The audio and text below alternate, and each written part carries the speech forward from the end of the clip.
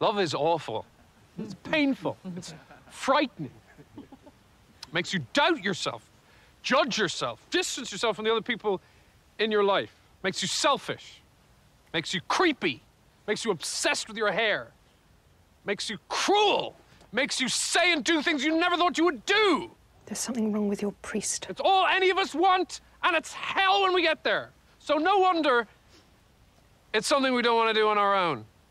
I was taught if we're born with love, then life is about choosing the right place to put it. People talk about that a lot, it feeling right. When it feels right, it's easy. But I'm not sure that's true. It takes strength to know what's right. And love isn't something that weak people do. Being a romantic takes a hell of a lot of hope. I think what they mean is